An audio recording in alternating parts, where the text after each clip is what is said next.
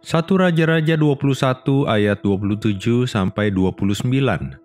Segera sesudah Raja Ahab mendengar perkataan itu, ia mengoyakkan pakaiannya, mengenakan kain kabung pada tubuhnya dan berpuasa. Bahkan ia tidur dengan memakai kain kabung dan berjalan dengan langkah lamban.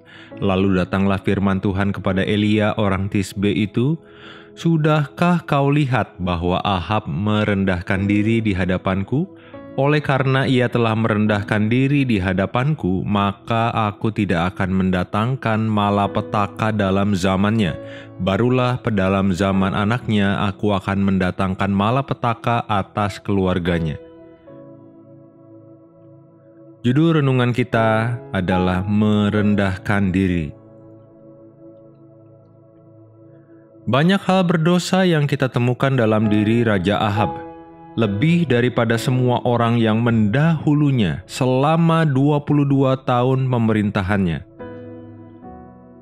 Nabi Elia menyampaikan pesan bahwa Raja Ahab dan rumah tangganya difonis hukuman mati dan bencana oleh Tuhan. Raja Ahab menanggapinya dengan serius. Ia bertobat, ia merendahkan diri di hadapan Tuhan Dampaknya adalah ada anugerah. Tuhan tidak mendatangkan bencana di zamannya. Namun, kerendahan hatinya tidak sampai tuntas. Raja Ahab membiarkan dirinya tetap dipengaruhi Isabel. Isabel kita tahu berkaitan dengan penyembahan berhala. Atau dalam Wahyu pasal 2 ayat 20 sampai 23, di sana Isabel dikaitkan dengan ajaran sesat. Jadi Raja Ahab membiarkan dirinya tetap dipengaruhi Isabel dengan 450 nabi Asyera yang masih dibiarkannya berperan dalam kehidupannya. Nabi-nabi ini lolos dalam pembunuhan yang dilakukan oleh Nabi Elia di Gunung Karmel. Akhir hidupnya adalah kematian yang tragis. Mari kita renungkan bersama.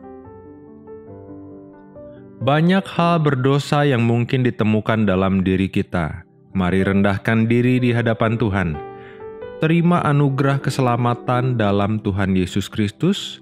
Kita bertobat sampai tuntas. Singkirkan kebiasaan lama yang berdosa, gantikan dengan kebiasaan baru yang sesuai firman Tuhan sehingga kita sekeluarga memperoleh hidup yang kekal. Tuhan Yesus menyertai.